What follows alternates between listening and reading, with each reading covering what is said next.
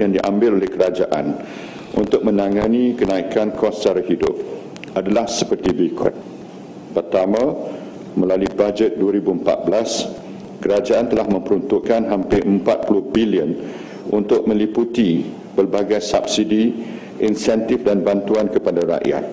Daripada jumlah tersebut, sebanyak 24 bilion telah diperuntukkan untuk subsidi barangan asas seperti produk petroleum, gas memasak, minyak masak, tepung, gandum dan harga beras.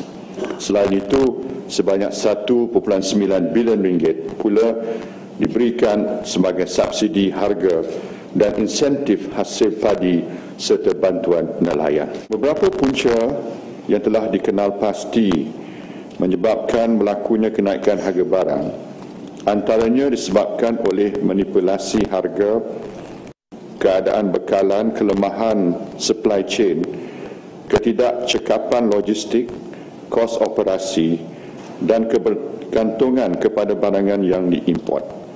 Selain itu, faktor cuaca seperti musim tengkujuh dan kemarau, misalnya, telah mempengaruhi jumlah pengeluaran, terutamanya barangan basah seperti ikan, sayur-sayuran, dan menyebabkan penawaran bekalan berkurangan daripada permintaan yang mendorong peniaga untuk menaikkan harga.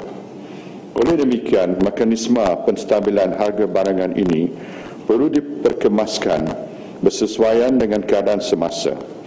Jadi kita sentiasa menyusun semula setiap bantuan atau program mengikut kesesuaian supaya rakyat serta semua golongan yang memerlukan atau yang disasar akan merasa faedahnya.